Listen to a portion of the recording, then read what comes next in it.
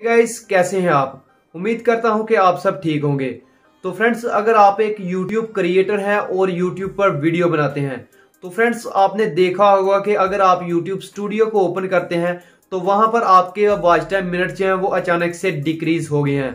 तो फ्रेंड्स हमारे बहुत सारे ऐसे YouTube क्रिएटर भी हैं, जिन्होंने वीडियोस बनाई है, और इसकी वजह से हमारे न्यू YouTube क्रिएटर बहुत ज़्यादा टेंशन में जा रहे हैं। क्योंकि फ्रेंड्स, उन्होंने बताया है कि हमारे यूट्यूब ने कुछ वॉइस टाइम मिनट जो है, वो अचानक से डिक्रीज कर दी हैं, यानी कि डिलीट कर दी हैं। जिसकी वजह से हर कोई न्यू यूट्यूब क्रिएटर जो है, वो बहुत ज़्यादा टेंशन में जा रहे हैं। इसी बात को क्लियर करने के लिए मैं ये वीडियो बना रहा हूँ कि यूट्यूब ने कोई भी हमारे वॉच टाइम मिनट्स को डिलीट नहीं किया।